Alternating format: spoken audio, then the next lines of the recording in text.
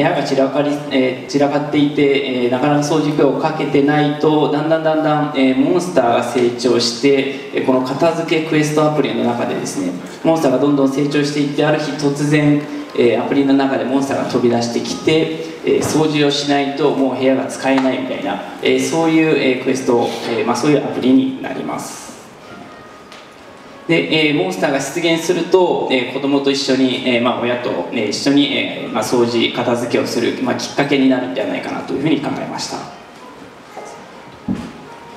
で、えー、それではですね子供部屋から今から中継を、ね、入れますが、えー、これは大体2020年の、えー、三井さん家族のですね子供部屋から、えー、ちょうど今から片付けクエストの様子をライブで、えー、紹介いたします。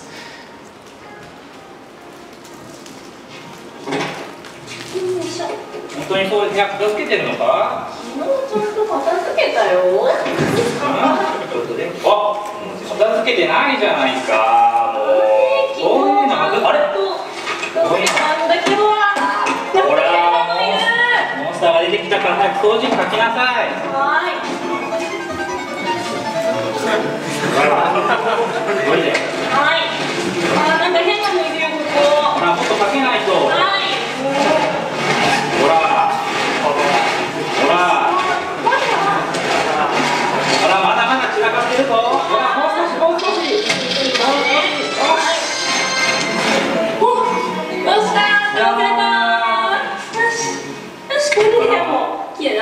これからちゃんと掃除するように。はーい。片付け終わりです。終わりで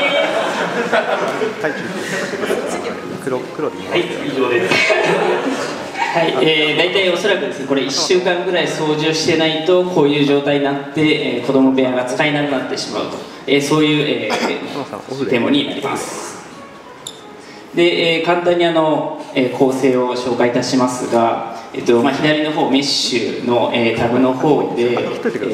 ーまあ、部屋の入って、えー、明かりがつくと、えー、そこで、まあ、ずっと掃除機なんかを使ってないとですねだんだん、まあ、モンスターが成長していって、えー、でそれをクラウドの方でキャッチして、えー、照明とかの、えー、コントロール、えー、あとは、えー、なんかギミックであのピカピカ光らしたりとか。で、えー、音声の方はスピーカーの方に、えー、も、えー、ついて音声の方が流れますで、えー、掃除機の方にメッシュの、えー、何でしたっけえーっと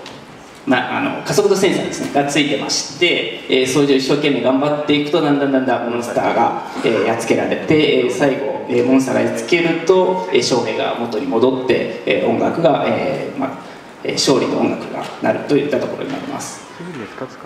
で、えー、この辺は、えっと、ウェブソケットとかで、えー、通信してまして、まあ、複数の端末とかにモンスターを出したりすることも、えー、可能になってます。